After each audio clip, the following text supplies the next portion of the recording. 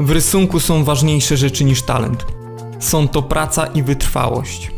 Doskonalenie umiejętności trwa długo. Naprawdę bardzo długo. Mnóstwo ludzi mówi, Ja nie mam talentu. ale tak naprawdę próbowali uczyć się miesiąc, może dwa i myślą, że już mogą spokojnie mówić, że brak im uzdolnień. To bzdura. To nie talentu im brak, tylko właśnie wytrwałości.